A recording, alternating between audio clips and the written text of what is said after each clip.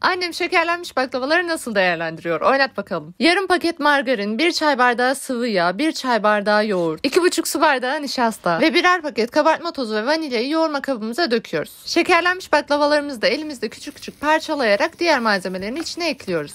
Üzerlerine de aldığı kadar un döküyoruz. Un oranı baklavaların miktarına göre de değişebilir o yüzden tam ölçü vermiyorum. Güzelce yoğuruyoruz. Hamurun kıvamı bu şekilde olmalı. Artık şekil vermeye geçiyoruz. Elimizde biraz yuvarladıktan sonra üstüne bastırıp yağlı kağıt serdiğimiz tepsiye diziyoruz. 200 derece fırında kurabiyelerimiz kızarana kadar pişiriyoruz ve tadıma geçiyoruz. Gayet lezzetli bir kurabiye oldu. Baklavayı da değerlendirmiş olduk. Baklava tadı hani bu baklavalı çikolatada geliyordu ya çıtır çıtır. Hı hı. O şekilde geliyor. Yani bunu biri yese direkt olarak baklavalı olduğunu anlamaz ama çıtır çıtır baklavalar arada geliyor. Bayağı iyi bence.